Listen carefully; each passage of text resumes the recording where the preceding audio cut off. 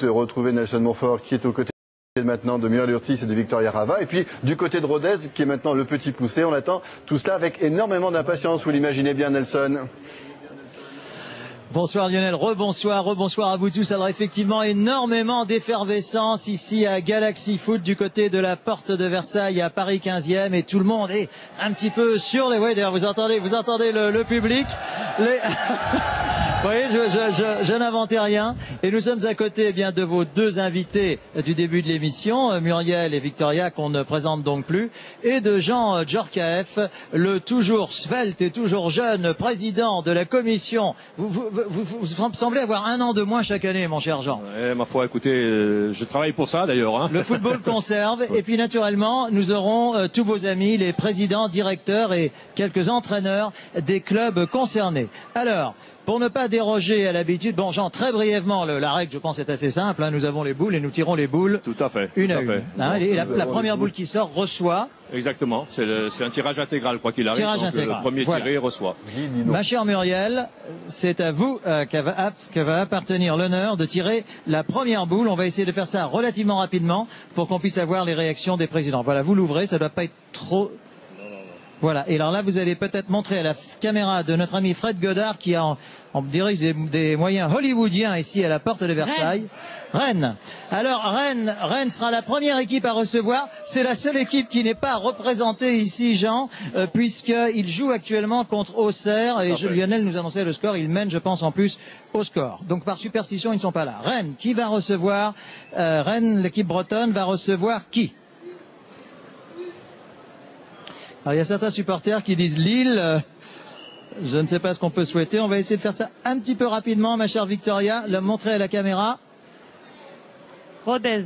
Ah, alors écoutez, ça sera un choc ici. Alors là, en revanche, nous avons, euh, Lionel, vous le pensez bien, les représentants des héros du tour précédent, Alain Play, président, et Franck Risetto, l'entraîneur. Cher Alain, la question traditionnelle, vous allez affronter en plus à l'extérieur, euh, ça, c'est un beau challenge. Bon, on est quand même déçus pour nos supporters puisque le match va se dérouler à quelques centaines de kilomètres de Rodez. Par contre, on sera accueilli par un Aveyronais, euh, Guy Lacombe. Ah bah oui, exact. Donc euh, normalement, on devrait être bien accueilli et on espère que ça se terminera bien. Un petit mot de Franck Risetto, on vous a vu. Oui, euh, Lionel. On va peut-être faire un petit tour du côté de Oui. Rodez aussi, hein, puisque Franck pourra écouter la réaction de son équipe. Et un peu déçu peut-être à Rodez, parce qu'on souhaitait plutôt Toulouse, n'est-ce pas, monsieur? Je crois que c'est Grégory Ursule qui a, qui a le micro euh, à Rodez. Qu'est-ce que vous en pensez de ce tirage contre Rennes, messieurs? Ben, c'est difficile de, de jouer à l'extérieur. Euh, On aurait préféré jouer euh, devant notre, notre public, mais euh, tant pis, le tirage a fait euh, a fait son choix. Donc ça sera Rennes, vous irez jouer que- à Rennes, et donc on revient retrouver Nelson pour la suite de ce tirage. Oui. Franck, donc un petit mot. Vous avez peut-être entendu euh, la réaction, je crois, d'un de vos joueurs. Vous auriez préféré jouer à domicile, bien sûr. Oui, bien sûr. on a fait quelque chose d'extraordinaire contre Paris. Bon, mais ça va permettre à mes joueurs de, de connaître une ambiance d'un d'un club de Ligue 1 à l'extérieur avec euh, tout ce que, ce que ça comporte. Rien n'est impossible pour une équipe comme la vôtre. Muriel, nous poursuivons. Ah, il faut un petit peu accélérer, un tout petit peu accélérer. Euh, voilà, parce que nous sommes un petit peu pressés par le temps. Alors attention, Jean qui veille. euh, Toulouse. Toulouse va donc rencontrer Victoria. Toulouse, le TFC, comme l'on dit, de la ville rose avec André-Pierre Gignac, va rencontrer, attention, Lille. Lille, le LOSC en pleine forme actuellement. Ça, ça sera un vrai choc. Ça tombe bien parce que les deux euh, représentants, si je puis dire, des clubs sont, sont, sont côte à côte.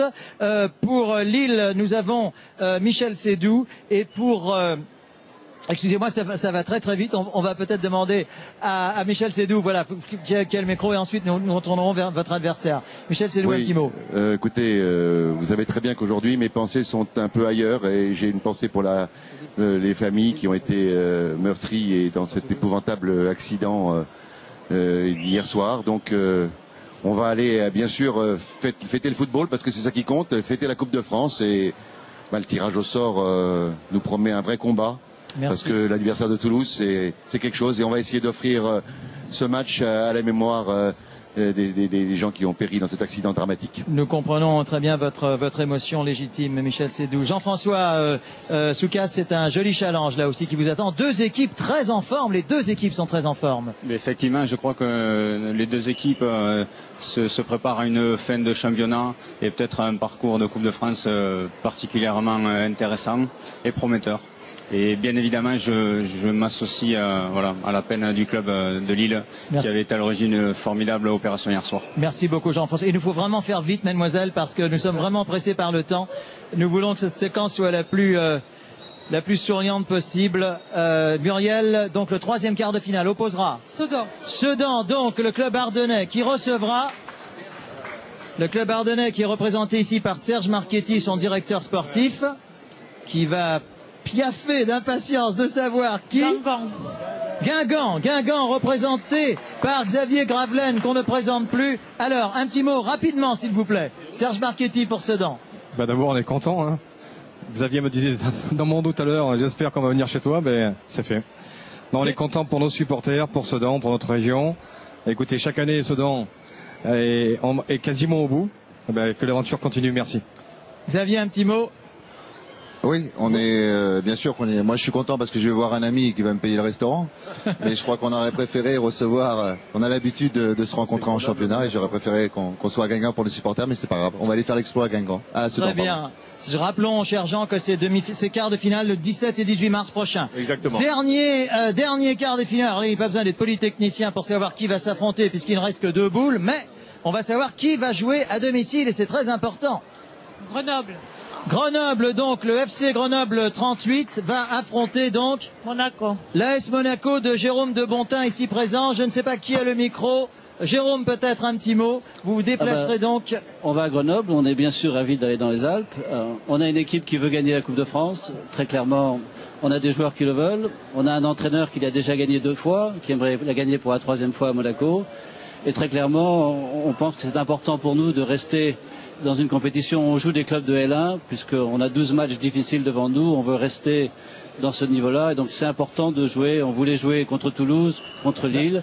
On tombe contre Grenoble, c'est très bien. Alors, vous allez donc affronter l'équipe du directeur général délégué de Grenoble, Pierre Ventier, ce qui est juste derrière vous. Bonsoir Écoutez, Pierre. Nous, on voulait surtout recevoir, donc l'objectif est atteint. Si c'est notre objectif premier, c'est évidemment la Ligue 1, mais on jouera la Coupe à fond parce que c'est une compétition absolument extraordinaire. Et, et le coach, euh, je crois que les deux coachs sur ça seront d'accord, Ricardo et, et Mecha Bazdarevic, qu'on on ne la bradera pas et on jouera pour la gagner. Très bien. Ben écoutez, voilà Lionel, on essaie de faire le plus rapidement possible. Jean, je pense que c'est un tirage qui doit vous combler très rapidement. Écoutez, je pense que ça va combler sûrement certains dirigeants, c'est vrai. Voilà. Bon, bah, je pense que c'est un point. Je voudrais remercier simplement Muriel et puis Victoria donc, dans leur présence. Hein. Voilà. Merci. Et puis, bon match pour tout le monde. Et rendez-vous pour les demi-finales. À vous, cher Lionel. Merci. D'abord, donc, il y aura euh, les quarts de finale les 17 et 18 mars prochains. Ça sera bien sûr sur France Télévisions.